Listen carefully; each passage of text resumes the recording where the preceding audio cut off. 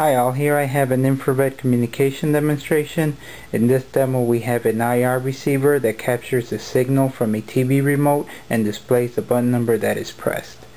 Here is the IR receiver which captures the signal and sends it to this microcontroller to be decoded.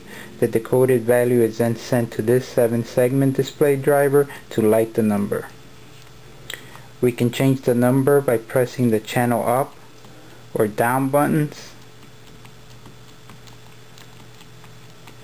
or we can show a specific number by pressing its button.